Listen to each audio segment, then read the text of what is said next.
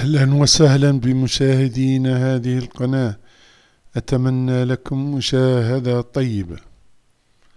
شجرة الباباي عندما تكون عمرها ثلاث سنوات تنمو على ارتفاع ستة أمتار ويصبح من الصعب قطف محصول الثمار من الشجرة ويصعب أيضا التعامل مع الآفات ويصعب تلقيح الأزهار الأنتوية وتحتاج الشجرة الباباي إلى مكان ملائم بعيد عن حركة الرياح.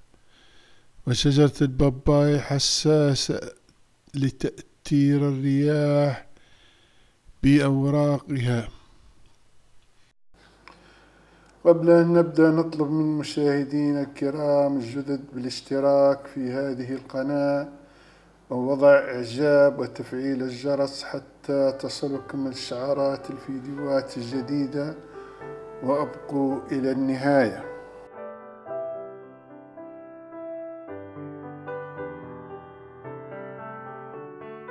كيفية تجعل الشجرة الباباي قصيرة عن طريق تني الساق الشجرة الباباي سوف نقوم بتني الشجرة إلى الأسفل لتقليل ارتفاعها وجعل نمو الشجرة أفقيا. يجب إحضار سكين حاد طويل بحيث يخترق مركز الساق الشجرة وتحضير معقم كحول. إن تعقيم الأدوات المستعملة في عملية إجراء الشقوق في الساق الباباي مهم جدا حتى لا تنتقل الفطريات داخل الساق وينتج عنها تعفن الساق وموت الشجرة. التوقيت المناسب لعمل شقوق في الساق الباباي يفضل فصل الربيع في الجو الدافئ. صنع الشقوق بسكين في الساق الشجرة الباباي من الداخل سهل القطع لوجود المركز الساق مجوف. ويمكن تقصير النباتات الباباي عن طريق قطع الساق إلى ثلاثة وأربعة شرائط عمودية والساق أكثر سماكة من خمسة إلى ستة شرائط عموديا أو من ثمانية إلى عشرة شرائط على الساق الناضجة أكثر سماكة. للحصول على تأثير الحناء الفاعل بحيث يمكن شد الساق ببطء للحناء فإن اللب الداخلي للباباي يشبه نبات الخيزران المجوف وهو سهل القطع بالسكين.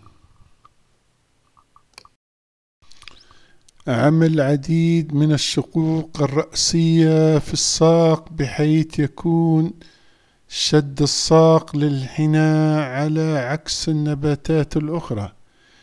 سيكون من الصعب تني الشقوق الموجودة في الساق الخشبية أو الأكثر صلابة وقد تنكسر بعض الشرائط أثناء الحناء.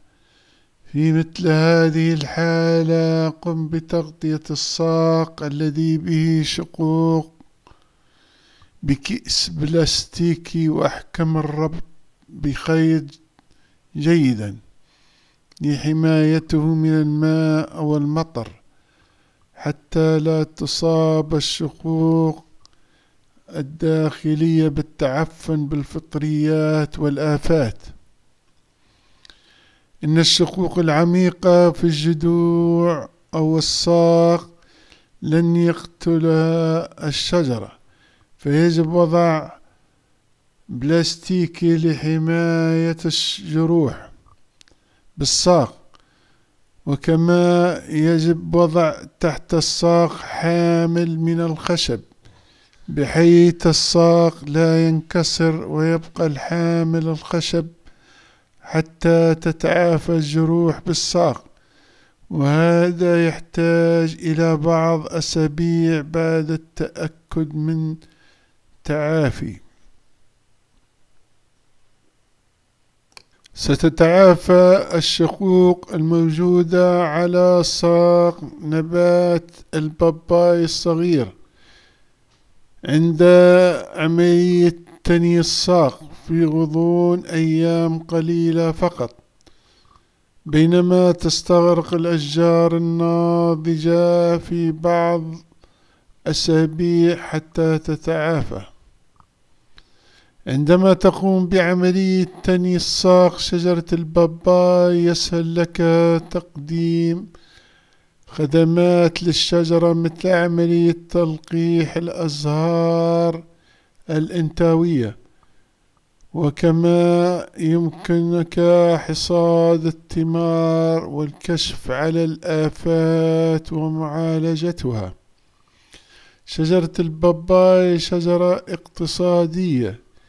إذ توفرت العوامل النمو تدخل الإنتاج بعد عدة أشهر من زراعتها.